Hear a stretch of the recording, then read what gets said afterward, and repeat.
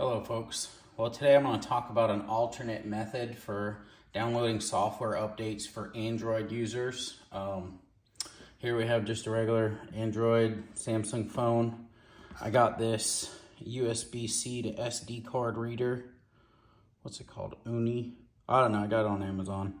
It was like 15 bucks. And then we have a standard SanDisk SD card. What's well, a mini to standard? 32 gig.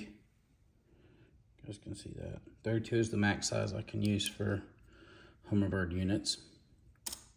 And what I'm going to show is, I mean, we have the one method of just going to our computer, downloading the software. Another option would be, I'll bring it up real quick, through the One Boat Network app. Here we go, got it right here. And then you can click on network updates, select your unit, download it, and then Bluetooth. So like for example, we got that Helix, that Solix 15 back there. Uh, we could download it, it comes to the phone, and then we Bluetooth it. It's a good option, uh, especially for iPhone users, uh, but to me it just takes a bit too long. Now, but before we get into that, let me show you on the back, on the bottom of your units, you have a little sticker, right? So when you're looking at, hey, which upload do I need? Just look right there. So that says Helix 9 MSI Plus GPS G4N.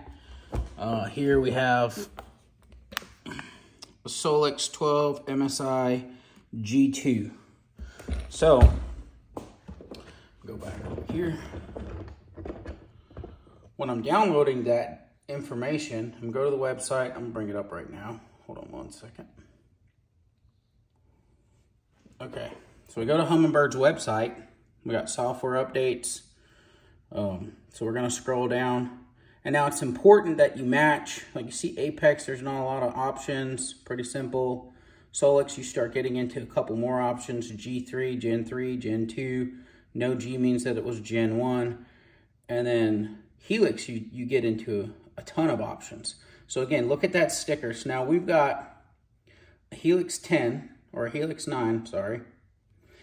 And it is a Chirp Mega SI Plus GPS G4N. So that's the one that I want.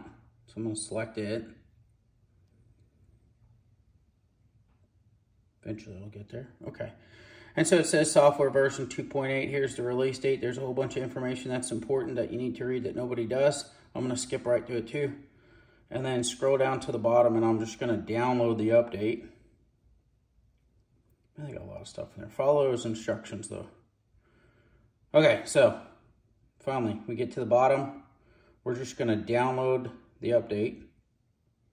Boom. And it's just gonna go right to my phone. So let's go look at the details. So 4.433 megabyte. Okay, so it's done. Now what I'm gonna do is I'm gonna go to my folder and I can see in my downloads, there's the file. And what I'm gonna do now is I'm gonna take this reader, put this card in here, right? Plug it up to the bottom of my Android phone.